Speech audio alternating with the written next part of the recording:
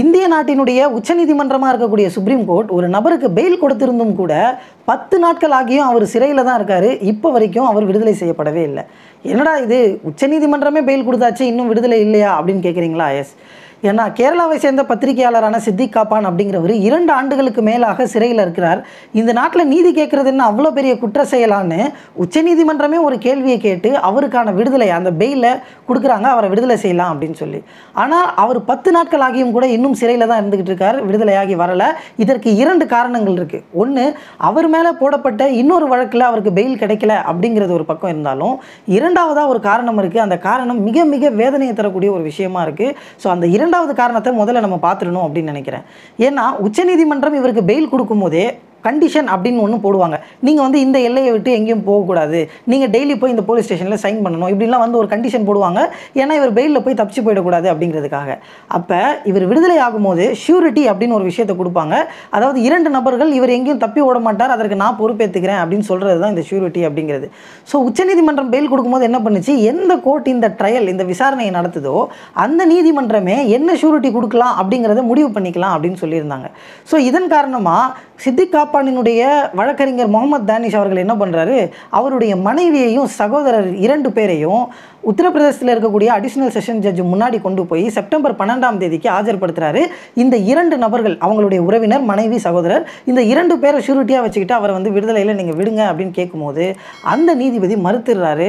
அப்போ அவர் என்ன சொல்கிறாருன்னா இந்த வழக்கு உத்தரப்பிரதேசத்தில் பதியப்பட்டிருக்கு விசாரணை உத்தரப்பிரதேசத்தில் நடக்குது அப்படிங்கிறதுனால உத்தரப்பிரதேசத்திலேயே வசிக்கக்கூடிய இரண்டு நபர்கள் ஒரு ஒருத்தரும் ஒரு லட்சம் ரூபாய் வேல்யூ இருக்கிறவங்களா இருக்கணும். அவர்கள் வந்து ஷூரிட்டி கொடுத்தா தான் நான் விடுதலை கொடுப்பேன் அப்படின்னு அதை மறுத்துடுறார். ஸோ அந்த வழக்கறிஞரும் அவர்களுடைய மனைவியும் அந்த உத்தரப்பிரதேசத்தில் போய் தேடுறாங்க. இந்த மாதிரி ஒரு லட்ச ரூபா வேல்யூ இருக்கக்கூடிய யாராவது ஒரு ரெண்டு பேர் வந்து ஷூரிட்டி கொடுக்கணும்னு. ஆனால் கிட்டத்தட்ட ஒரு வார காலமாவது இப்போ வரையும் அந்த ரெண்டு ஷூரிட்டியுமே கிடைக்கலங்கிறது தான் மிக மிக வேதனையாக இருக்கக்கூடிய விஷயம். ஏன்னா சித்தி காப்பானுக்காக குரல் கொடுத்தாங்க எத்தனையோ பேர் ட்விட்டரில் சமூக வலைதளங்களில். அவர் ஒரு சமூக போராளி மக்களுக்காக குரல் கொடுக்க போய் சிறையில் போய் ரெண்டு வருஷமாக இந்த பாஜக அரசு அவர் உள்ளே வச்சிருக்கு. அப்படின்லாம் குரல் கொடுத்துக்கிட்டு இருக்கக்கூடிய இந்த சூழலையும் கூட அந்த உத்தரப்பிரதேசத்தில் வாழக்கூடிய ஒரு இரண்டு நபர்கள் அவருக்காக ஷூரிட்டி கொடுக்க முன் வரலை அப்படின்னு சொன்னால் அதற்கு பின்னால் எவ்வளவு பெரிய அச்சம் இருக்குது அப்படிங்கிறது இதுலேருந்தே தெரியும். ஏன்னா இந்த கேஸ் அந்த அளவுக்கு சென்சிட்டிவ் ஆக்கி இவர் ஒரு தீவிரவாதி அப்படின்னு ஒரு கட்டமைப்பை ஏற்படுத்தி மக்கள் மத்தியில் ஒரு அச்சத்தை கொடுத்துருக்காங்க. அந்த அச்சம் அப்படிங்கிறது இவர் தப்பிச்சு போயிடுவாரோ அப்படிங்கிறதுக்காக இல்லை. ஏன்னா கொஞ்ச நாளைக்கு முன்னாடி போராட்டம் நடத்தியதற்காகவே ஒரு வீட்டையே புல்டோசரை வச்சு இடிச்சது உத்தரப்பிரதேசத்தினுடைய யோகி ஆதித்யநாத் அரசு.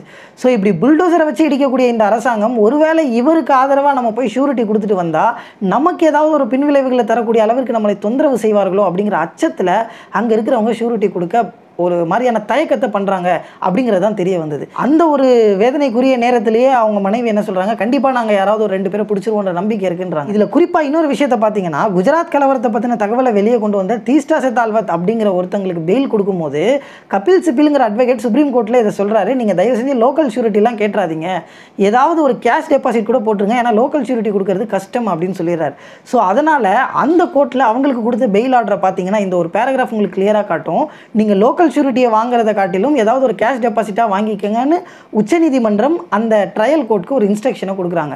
ஸோ இந்த மாதிரியான ஒரு இன்ஸ்ட்ரக்ஷன் சித்திக் காப்பான் வழக்கில் இல்லாத காரணத்தினால லோக்கல் ஷூரிட்டி தான் வேணும்னு அந்த நீதிபதி கேட்குறதுனாலையும் தான் அந்த ஷூரிட்டியை இப்போ வரையும் ஃபுல்ஃபில் பண்ணாமல் அந்த பெயில் அப்படிங்கிறது நிலுவையில் நிற்கிது இது ஒரு ரீசன் இன்னொரு ரீசன் அவர் மேலே பதிவு செய்யப்பட்டிருக்கக்கூடிய பிஎம்எல்ஏ கேஸ் அப்படிங்கிறது அதாவது ப்ரிவென்ஷன் ஆஃப் மணி லாண்டரிங் ஆக்டில் போட்டிருக்கக்கூடிய இவர் பணத்தை வந்து முறைகேடாக கையாடல் செஞ்சிருக்கிறார் அப்படின்னு ஒரு வழக்கு போட்டிருக்காங்க என்ஃபோர்ஸ்மெண்ட் டிபார்ட்மெண்ட் இந்த அமலாக்கத்துறையினுடைய அந்த வழக்கிலையும் இவர் வந்து பெயில் வாங்க வேண்டியிருக்கு. அதுலேயும் பெயில் வாங்கினா மட்டும்தான் இவர் சிறையிலேருந்து வெளியே வர முடியும் அப்படிங்கிறது தான் ஃபேக்ட் ஸோ இந்த இடத்துல உங்களுக்கு கேள்வி வரும். உச்சநீதிமன்றமே வந்து இவருக்கு பெயில் கொடுத்துருச்சு. அதில் என்ன இந்த வழக்கு அந்த வழக்கு அப்படின்னு சொல்கிறாங்கன்னு ஸோ பொதுவாக பார்த்தீங்கன்னா ஒரு நபரை ஒரு வழக்கின் காரணமாக சிறையில் கொண்டு போய் அடைச்சாங்க.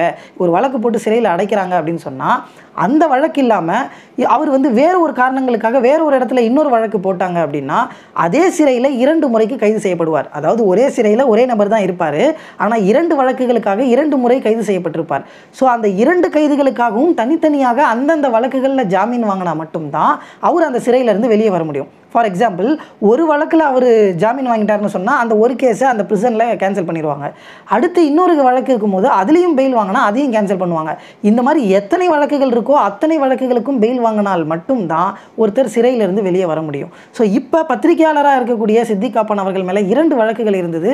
அதில் ஒன்று யூஏபிஏ வழக்கு அதில் உச்சநீதிமன்றம் வந்து இப்போ அவருக்கு ஜாமீன் கொடுத்துருச்சு. ஸோ அது ஆல்மோஸ்ட் ஷூரிட்டி ஸ்டேஜில் இருக்குது இன்னொன்று பிஎம்எல்ஏ கேஸ் அப்படிங்கிறது செப்டம்பர் பத்தொம்போதாம் அன்னைக்கு வந்து ஹியரிங் இருந்தது. அநேகமாக அன்னைக்கு பெயில் கிடச்சிருன்ற ஒரு நம்பிக்கை இருக்கும்போது அரசு தரப்புல இருந்து மேலும் எங்களுக்கு கால நீட்டிப்பு வேணும் அப்படின்னு சொல்லி கேட்டிருக்காங்க.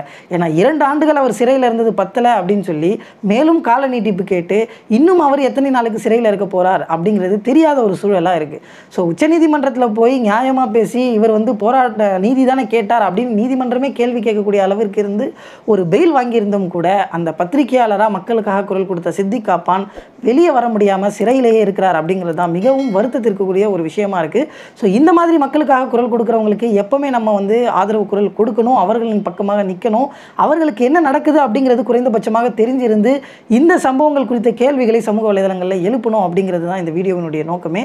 ஸோ இந்த வீடியோவினுடைய தகவல் உங்களுக்கு பிடிச்சிருந்தா லைக் பண்ணுங்கள் தொடர்ந்து மக்கள்கிட்ட கொண்டு போய் அதிகமாக ஷேர் பண்ணுங்கள் மறக்காமல் சேனலை சப்ஸ்கிரைப் பண்ணிக்கோங்க. நன்றி.